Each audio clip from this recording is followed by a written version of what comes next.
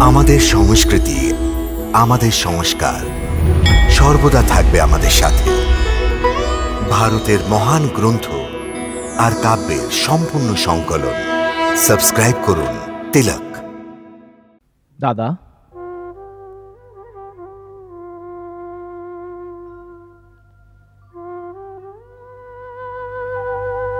এত উদ্বিগ্ন হচ্ছেন কেন?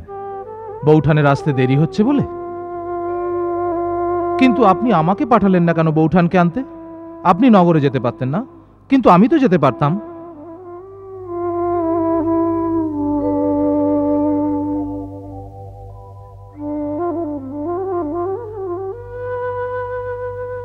লক্ষণ আগুনের ব্যবস্থা করতে হবে। আগুনের ব্যবস্থা? কেন? সীতাকে আগুন পেরিয়ে আমার কাছে আসতে হবে তো।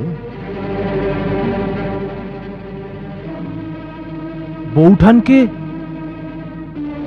আগুন পেরিয়ে আসতে হবে? হ্যাঁ। মা মা সীতাকেও?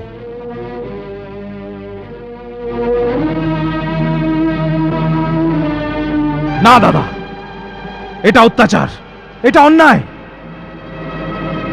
লক্ষণ।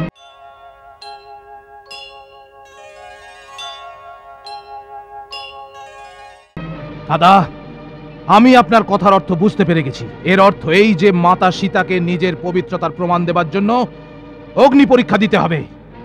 লক্ষণ? সেই সতীকেও যে আপন প্রতিব্রতা ধর্ম পালন করার জন্য ত্রিলোকের বিজেতা রাবণের সুখ সুবিধা আর বৈভবে ভরা মহল ত্যাগ করে ওই অশোক বনে শীত গ্রীষ্ম রোদ এবং বৃষ্টির মধ্যে মুক্ত আকাশের তলায় সবকিছু সহ্য করেছেন। লক্ষণ? এক রাজার কন্যা আর এক চক্রবর্তী রাজার স্ত্রী হয়ে আপন পতির সাথে খালি পায়ে বনের মধ্যে ঘুরে ঘুরে বেরিয়েছেন ওনার পুজো করার স্থানে ওনার পরীক্ষা। কি দোষে দাদা? কি দোষে? লক্ষণ আমার কথা শোনো। না দাদা না। আমি এই বিষয়ে একটা কথাও শুনতে চাই না। অসহায় অবস্থায় একজন অবলা নারীকে কেউ বলপূর্বক ধরে নিয়ে গেল আর সে দোষী হয়ে গেল? দোষী তো আমি। কেননা ওনার কথায় ক্রুদ্ধ হয়ে আপনার আজ্ঞার বিরুদ্ধে ওনাকে ছেড়ে চলে গেছিলাম।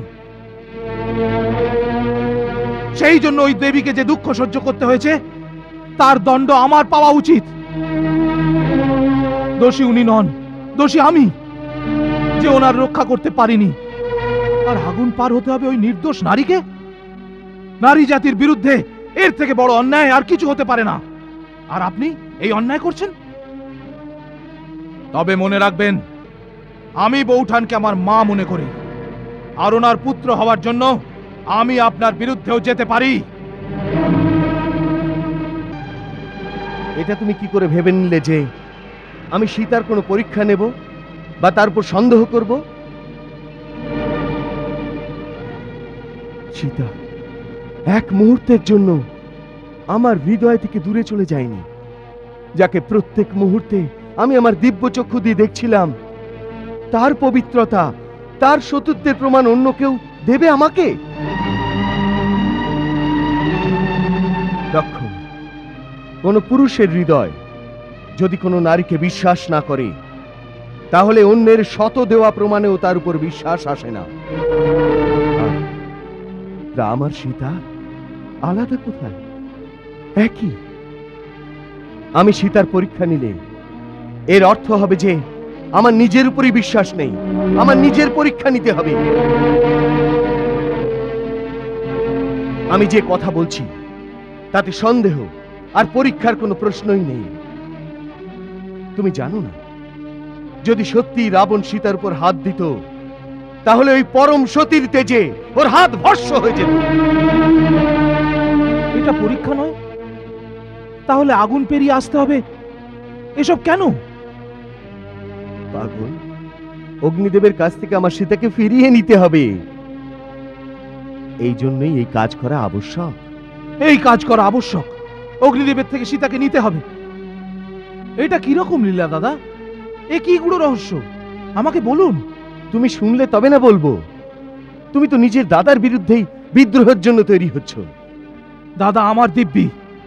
শীঘ্রই বলুন এটা কি রহস্য?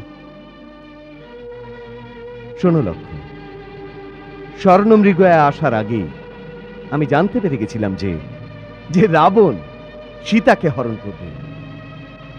আর যখন একদিন তুমি কাঠ কাটতে গেছিলে, তখন আমি সীতাকে বলেছিলাম, সীতা, এখন সেই সময় এসে গেছে যখন আমাদের মহত্বপূর্ণ নরলীলা করতে হবে।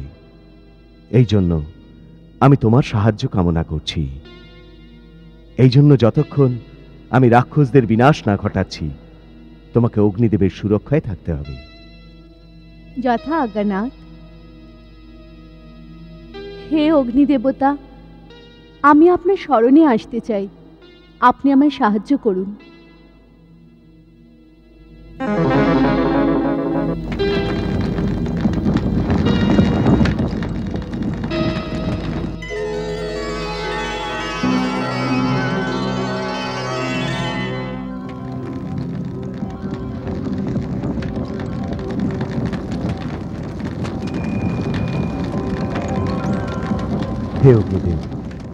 আমি সীতাকে কিছুদিনের জন্য আপনার সংরক্ষণে রেখে যাচ্ছি। আপনি দেবীর রক্ষা করুন। এটা আমার সৌভাগ্য যে আপনি আমাকে এই সেবার সুযোগ দিয়েছেন। আসুন দেবী।